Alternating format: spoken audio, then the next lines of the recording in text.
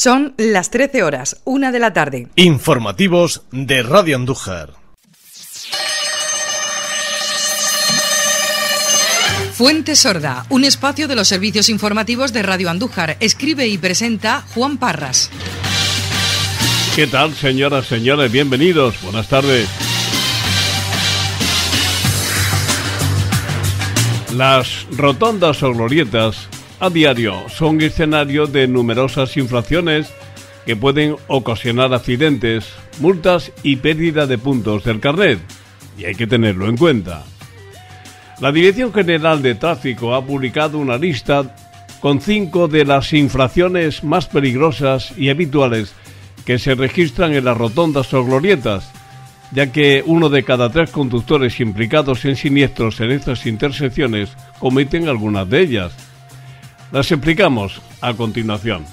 La primera, entrar en la rotonda sin ceder el paso a los que circulan, que es muy peligroso, ya que puede provocar que los vehículos que están dentro, que circulan dentro, tengan que frenar bruscamente y causar alcances entre varios vehículos.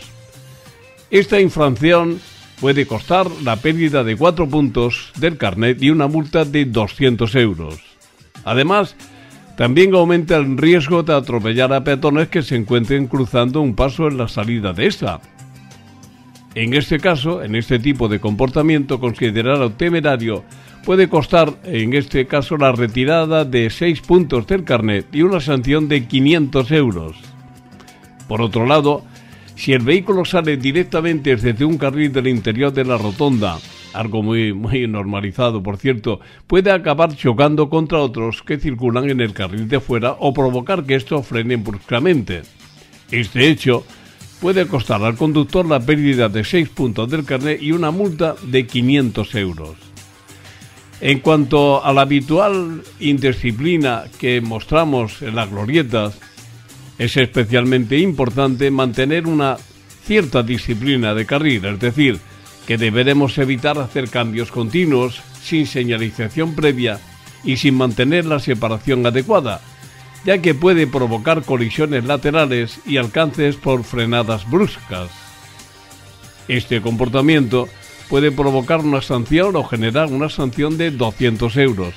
Y el último punto, recuerda que hay que tener en cuenta la presencia de ciclistas en la glorieta, respetar su prioridad en las salidas, entradas y cambios de carril y mantener con ellos una distancia adecuada, ya que son los usuarios más difíciles de detectar y más frágiles dentro de la circulación.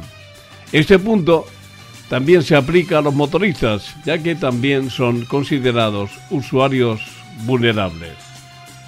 Finalmente, señoras y señores, como vemos, son las cinco maniobras o errores que cometemos cada vez que nos incorporamos a una rotonda. Aunque en ningún caso es por desconocimiento y sí porque nos parece que es más cómodo y fácil para nosotros. Sin embargo, atendiendo primero a la sanción que nos puede eh, caer por ese exceso y no menos por la situación tan peligrosa que puede acarrear nuestra actitud, si aceptamos las condiciones que se exigen para circular por ellas, es evidente que todos saldremos ganando. Feliz fin de semana. Señoras, señores, gracias. Hasta el lunes. Buenas tardes. Saludos, ¿qué tal? Gracias señoras y señores por su compañía. Ahora es el tiempo para la información en Radio Andújar, un tiempo de noticias que repasamos primeramente en titulares. Estos son los temas de los que hablamos con ustedes a continuación. Estamos a punto de darle la bienvenida al último fin de semana del invierno y la primavera parece que quiere ganar terreno dejándonos temperaturas más propias de ella que de quien dice estar casi para marcharse. Por delante un fin de semana que ya huele a Semana Santa con el pórtico que abre el pregón que va a pronunciar Diego Pérez Lomas. Destacamos de hoy el protagonismo que tomará esta casa, Radio Andújar, con la inauguración esta tarde en Casa de Cultura de la segunda edición de la exposición Mujeres que nos gustan, un espacio para la cultura en el que encontrarán a cinco mujeres artistas artesanas que participan en esta nueva aventura. Hablamos también de la Feria de los Pueblos que se inauguraba ayer y promete un amplio programa de actividades a lo largo del fin de semana y y todo de cara, como saben, al Día de la Provincia. Nos hacemos eco también del convenio firmado por la Diputación de Jaén y el Instituto Nacional de Técnica Aeroespacial, el INTA, a través del cual ya hay terrenos cedidos para la construcción del CTDEX. Algo que va a suponer un impulso importante para la provincia. Hablamos también del campo y repasamos la completa agenda del fin de semana. Pues comenzamos a detallar los asuntos que les hemos presentado en titulares y nos van a permitir que sea Radio Andújar primeramente la protagonista en la apertura de este tiempo para la información. Y es que verán ustedes con motivo del 40 aniversario de esta casa de Radio Andújar, el año pasado entre el amplio programa de actividades que vivimos para celebrar pues el logro de esta casa de mantenerse durante tanto tiempo gracias a ustedes, pues vivita y coleando, entre las actividades cerrábamos es posible que lo recuerden, en nuestras redes todavía encuentran un amplio reportaje de aquella gran aventura, pues entre las actividades organizábamos una exposición de mujeres artistas eh, que se clausuraba coincidiendo con el Día Mundial de la Radio. La llamábamos Mujeres que nos gustan y nos gustó tanto la idea y gustó tanto la idea que siempre que esté dentro de nuestras posibilidades queremos mantenerla en el tiempo. Y llegamos así al día de hoy en el que afortunadamente vamos a inaugurar esta tarde la segunda edición de Mujeres eh, que nos gustan.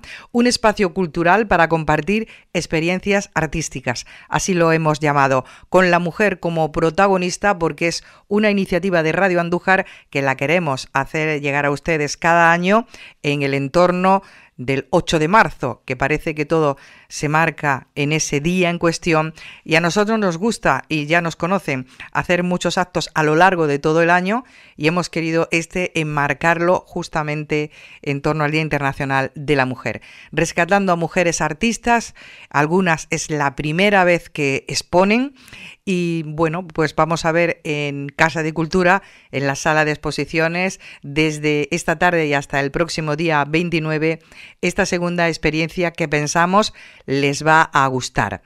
Artistas artesanas que este año van a compartir este espacio para la cultura está Carmen Cuesta Ruiz con sus hilos que bordan historias. Les aseguramos que van a sorprenderse con las obras de arte de Carmen Cuesta, que es la primera vez que se ha atrevido a sacar a la calle sus obras de arte. Ella dice que no entiende que sean obras de arte, que lo hace con mucho amor, pero les eh, aseguramos eh, que les va a sorprender, porque ya les vamos a adelantar, son eh, cuadros que están bordados en hilos de seda y hasta que uno no se acerca a ver esa obra de arte no percibe el detalle.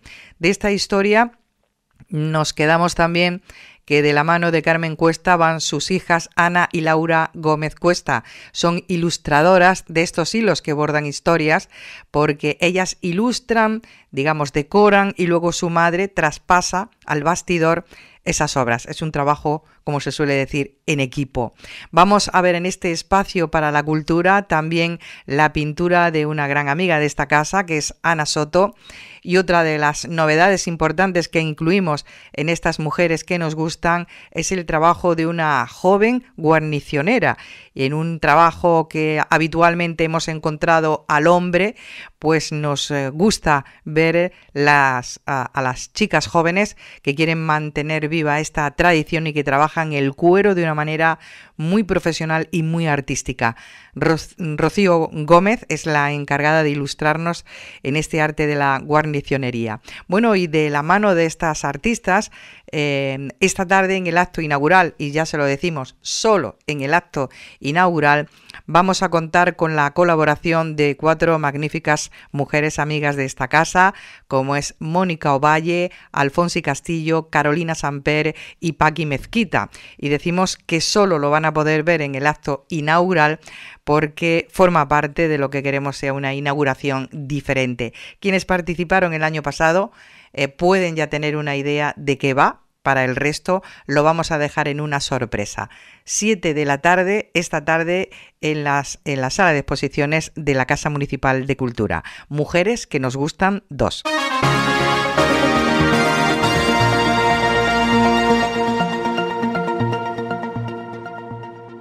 Cambiamos de asunto, pero no nos vamos a ir de la agenda, de la agenda del día y del fin de semana, porque se nota que huele ya a primavera y empieza a ocurrir, a repetirse algo que insistentemente les decimos en nuestros informativos, que conforme se acerca justamente el buen tiempo, empiezan a coincidir, incluso no solamente en día, sino en hora y casi casi en espacio por cercanía a la celebración de eventos, el desarrollo de muchas actividades que vienen a decirnos justamente eso, que llega la primavera y se nos junta la actividad de la Semana Santa, con los preparativos de San Eufrasio y con un ambiente cultural y deportivo, además de festivo, bastante interesante. Bueno, pues junto a lo que acabamos de indicarle de la exposición eh, con la que Radio Andújar continúa el recorrido que venimos haciendo por nuestra aportación al mundo de la cultura, les presentamos este abanico de actividades de las que hemos hablado a lo largo de la semana y que ahora conviene recordar para que no digan es que no tenemos cosas, es que nos aburrimos. Hay un calendario bastante interesante de actos para este fin de semana. Por ejemplo, hoy mismo se ha inaugurado en Casa Municipal de Cultura el seminario que impulsa la UNED, la Universidad Nacional de Educación a Distancia, junto al Ayuntamiento de Andújar, la Junta de Andalucía y la Diputación Provincial.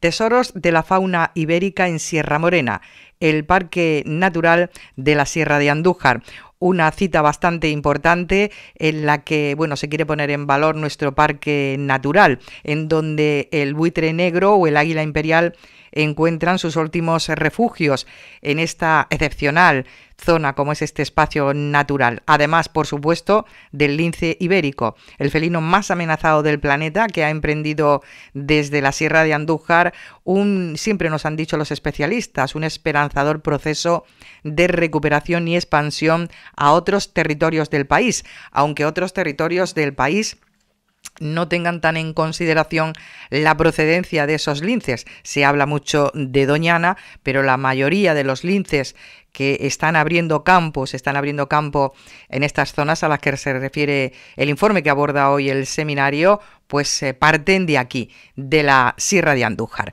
Bueno, pues teniendo en cuenta la importancia de este ecosistema, eh, justamente es lo que eh, la organización les ha llevado a celebrar un seminario que dé a conocer la trascendencia de este singular entorno nuestro natural en el que van a participar los mejores especialistas del país para analizar, para estudiar y divulgar la extraordinaria fauna silvestre que atesoramos. Es una ocasión que va a servir pues a especialistas, porque para este seminario a lo largo del fin de semana se dan cita en Andújar geógrafos, naturalistas, biólogos, estudiantes y personas interesadas en general que quieren intercambiar ideas, metodologías y conocimientos sobre este enclave nuestro privilegiado del bosque mediterráneo, un auténtico paraíso de la fauna más amenazada de Europa. Bueno, pues a lo largo de este fin de semana se van a abordar bastantes temas interesantes. Por ejemplo, hoy en la inauguración se abordaba la recuperación del lince ibérico en la Sierra de Andújar a cargo de Maribel García Tardío. Es licenciada en Biología y Ciencias Ambientales por la Universidad de Jaén y forma parte del plan de recuperación del lince ibérico en Andalucía. Se aborda también la recuperación del águila imperial en nuestro parque natural a cargo de Diego García González, de la Universidad de Córdoba. También es técnico del Plan de Recuperación del Águila Imperial en Andalucía. Y otro asunto, el bosque mediterráneo contra el cambio climático, el paradigma de la Sierra de Andújar, a cargo del naturalista, escritor, periodista y divulgador científico Joaquín Araujo, que nos consta es un enamorado de nuestro parque natural. A lo largo del fin de semana se van a abordar otros temas, no puede faltar el buitre negro, el tema de la extinción del lobo o incluso un taller de observación en la naturaleza para ver prácticas en nuestro parque natural. Eso ya va a ser más para mañana sábado. En cualquier caso, lo que desean los participantes y también los medios de comunicación, que seguimos muy de cerca el desarrollo de todos estos planes de recuperación de especies amenazadas, es que nos den cifras para que verdad podamos valorar eh, la evolución que ha sufrido en todos estos años la, recuperar o no la especie.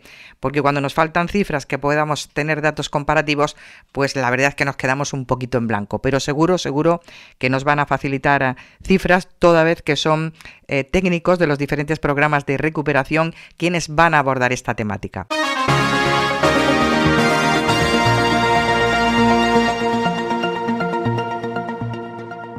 Más asuntos de agenda con la Semana Santa por delante. Nos vamos a adelantar mucho más a otra festividad, la del patrón de Andújar y de la diócesis, San Eufrasio. Y es que los preparativos comienzan ya en un año bastante importante para la hermandad y para el culto al patrón. Se celebra este año el 450 aniversario del inicio del culto a San Eufrasio en Andújar, que fue allá por 1574. También coincide con el 400 aniversario de la proclamación como patrón de la diócesis de Jaén a San Eufrasio. Hablamos de 1624. Todo esto lleva a la Hermandad del Patrón a realizar a lo largo de este año y de 2025 un programa de actos extraordinario que nos anuncian desde la Hermandad se van a ir comunicando. Lo que no quita que nos preparemos ya para mayo próximo con las diferentes actividades que se organizan desde la Hermandad y que hoy van a ser protagonistas a partir de las 8 de la tarde en el antiguo templo de Santa Marina, con la presentación del cartel anunciador de las fiestas del patrón de cara a este año. Vamos a conocer también quién se va a encargar de pregonar este año al patrón y por último, como también acompaña la hermandad cada año cuando llegan estos eventos, se va a proceder a la entrega de premios de los diferentes certámenes de redacción y dibujo. Así que ya lo saben, 8 de la tarde en el antiguo templo de Santa Marina. El mundo de la fotografía, además de la fotografía de naturaleza, también es noticia en este fin de semana. Se lo decíamos también en nuestros informativos, el cercado del ciprés va a acoger el que ya es decimoséptimo encuentro de AFOAN. Este año inspirado por las aves, que además tiene como invitado muy especial a Mario Suárez Porras, del que nos hablaba la presidenta de AFOAN, María Ángeles Pérez. Hace una fotografía maravillosa con infinidad de premios que tiene. Eh, bueno, de los premios más prestigiosos a nivel internacional, pues muchos de ellos los tiene Mario Suárez. Em, eh, por ejemplo, de la eh, me viene ahora National Geographic, tiene premios de ellos y bueno, pues vamos a tener la suerte de contar con él. Nos ha costado un poco de trabajo, de tiempo, porque bueno, él vive en Cantabria, viene de Cantabria, está muy solicitado y afortunadamente ya por fin pudimos concretar esta fecha. Te digo un poco, va a ser mm, el día 16, va a ser en jornada de tarde, se va a hacer un taller donde Mario nos explicará como nos explicará y nos demostrará in situ, ¿no? porque se va a hacer el taller en, la sierra, en un lugar de la sierra que probablemente, como es para fotografía de aves principalmente, pues en alguna zona del río. Y en este taller él nos va a hacer una demostración, nos va a explicar cómo él hace esas maravillosas fotografías que hace, donde mm, nos muestra una parte muy creativa, es decir, eh, digamos que nos muestra fotografías de aves, pero de una forma muy artística. Pues no crean que hemos terminado porque la agenda viene mucho más completa. La Peña Flamenca Los Romeros, uno de los colectivos culturales de Andújar que más eventos nos preparan a lo largo de todo el año, nos convocan hoy a las 9 de la noche en su sede en el Altozano de Santo Domingo para la presentación del libro Influencia de la Escuela Bolera en el Flamenco. Correrá a cargo de la bailaora Lola Pérez. Como acostumbra la Peña, tras el evento cultural sigue la cultura de la música y del baile, con una fiesta en la que vamos a contar con el cante de Antonio Mena, que estará acompañado por el baile de Carmen Catena y la guitarra de Alba Spert más cosas. Ya les decimos que tenemos por delante un fin de semana bastante ajetreado y el pórtico de la Semana Santa, que si bien procesionalmente hablando nos llega con la salida de la borriquilla, antes tenemos el acto cultural que supone escuchar y seguir al pregonero. Pregón de la Semana Santa este domingo, a las 12 en el Teatro Principal, a cargo de Diego Pérez Lomas, que como manda la tradición, será presentado por su antecesor en el cargo, en este caso antecesora porque fue Mercedes Fernández. Se va a contar con la intervención también de la banda de música Maestro Amador. Y para que no les falte ningún detalle. Más cosas para este domingo. Será en la madrugada. A las 5 de la mañana, con salida desde la Pontanilla, arrancará el décimo octavo, que parece que fue ayer. Son ya 18 ediciones, cumple la mayoría de edad el encuentro de juventudes con la patrona que organiza Peregrinos del Alba. Así que es el buen momento para acompañar y sentirse joven en un evento que cada vez atrae a más personas que acuden desde diferentes puntos de la geografía provincial, incluso fuera de la provincia, para acompañar en esta subida hasta el santuario y evento deportivo que también viviremos con el mundo de la bici. Gran protagonismo este fin de semana, desde luego, para nuestro parque natural, desde el ámbito cultural y también festivo, eh, en el caso de la Peña, el, colectivo Peregrinos del Alba, pero es que además la mountain bike nos eh, atrae este año a una cita importante en, eh, en este último fin de semana del invierno con eh, la maratón de bici 67 kilómetros por nuestra sierra, en la Sierra de Andújar, para disfrutarlo a tope. Y para que tengan la guinda ya al pastel de eventos culturales de este fin de semana, se pueden planificar una auténtica ruta. Recuerden que en el Palacio de los Niños de Don Gómez hasta mañana mismo sigue abierta la exposición La mujer y su historia, que desde luego merece la pena conocer.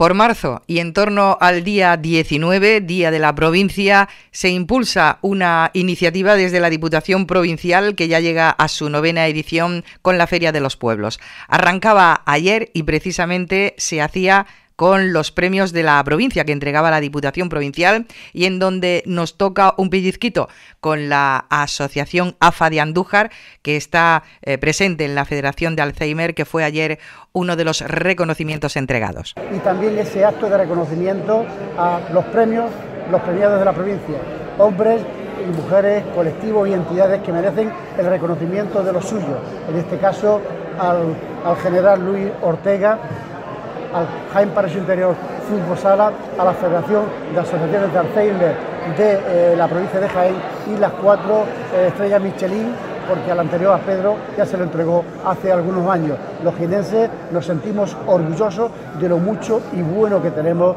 y aprovechar una fecha como esta para mostrarlo al resto del territorio, para profundizar en nuestra identidad y por supuesto el orgullo de nuestra tierra y, cómo no, aprovechar estas fechas también que tienen que ser con carácter reivindicativo hacia las instituciones, porque Jaén sigue necesitando el apoyo para seguir avanzando.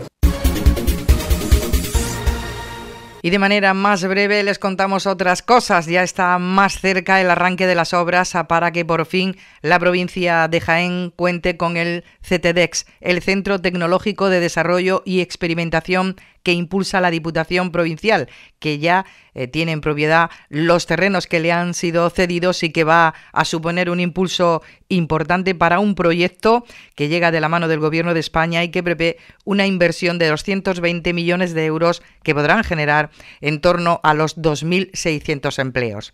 Y en el ámbito de la agricultura mm, también destacamos, bueno, lo que se sigue, eh, de lo que se sigue hablando en torno al campo, como es eh, la nueva PAC, que está levantando ampollas, desde luego, y que, bueno, esta vez ha traído más declaraciones, las de la consejera de Agricultura, Pesca y Desarrollo Rural, Carmen Crespo, que insta al Ministerio de Agricultura a revertir las pérdidas de los agricultores y ganaderos en Andalucía, eh, que dice la propia consejería que se han cifrado en más de 120 millones de euros. Pues con esta noticia, que sigue siendo, eh, bueno, dando protagonismo al campo, terminamos nuestro informativo deseándoles lo mejor e invitándoles a aprovechar el último fin de semana del invierno con temperaturas primaverales. Hasta luego.